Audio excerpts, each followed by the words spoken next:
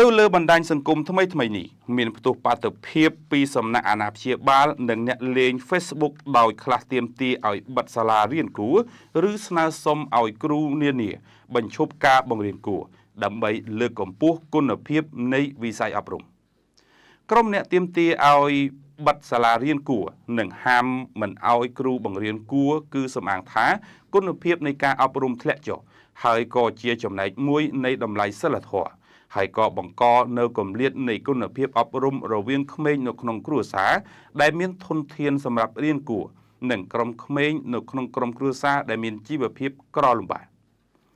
ពួកគេបានលើកឡើងផងដែរថាអំពីការមិនយកចិត្តទុកដាក់របស់លោកគ្រូអ្នកគ្រូនៅក្នុងកំឡុងពេលដែលពួកគេបង្រៀននៅក្នុងម៉ោងរដ្ឋបាល ហើយខំបំពន់ទាំងចំណេះដឹងនិងជំនាញគឺនៅសាលារៀនគួរឬនៅពេលដែលលោកគ្រូអ្នកគ្រូបង្រៀននៅក្រៅម៉ោង ពួកគេបានលើកឡើងអំពីតម្លៃនៃសិលធម៌របស់លោកគ្រូអ្នកគ្រូផងដែរហើយម្យ៉ាងទៀតហើយម្យ៉ាងទៀតសកម្មភាពបង្រៀនគួរនេះអាចឲ្យសិស្សដែលគ្មានលទ្ធភាពបាក់ទឹកចិត្តមិនចង់រៀនដោយសារតែមិនចេះនេះគឺជាហេតុផលប៉ុន្តែក្រុមអ្នកដែលគ្រប់គ្រងឲ្យគ្រូបង្រៀនគួរវិញបានលើកឡើងថា ការរៀនគួរនេះគឺជាប្រភពនៃការអនុវត្តនៅសាលាគេរៀនទ្រឹស្ដី នៅសាលាគេរៀនទ្រឹស្ដីហើយនៅកន្លែងរៀនគួរគឺជាកន្លែងដែលអនុវត្តហើយការដែលរៀនគួរហើយការដែលរៀនគួរនេះគឺជាបច្ច័យមួយជួយទំនុកបំរុងជីវភាពបន្ថែមដល់លោកគ្រូអ្នកគ្រូផងដែរក្រុមនេះបានលើកឡើងថា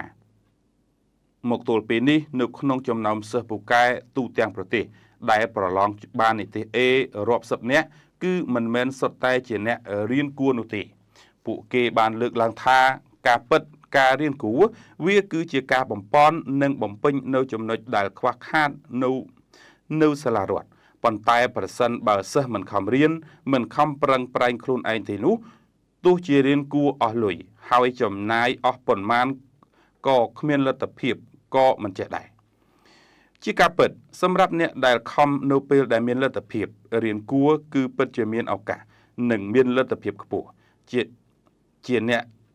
ជាងអ្នកដែលមិនមានឱកាសប៉ុន្តែប្រសិនបើខំហើយម្យ៉ាងវិញទៀតប្រសិនបើអាចឆ្លៀតពេល អាចសុំលោកគ្រូអ្នកគ្រូដែលគាត់បង្រៀនគួរដោយប្រាប់ត្រង់ត្រង់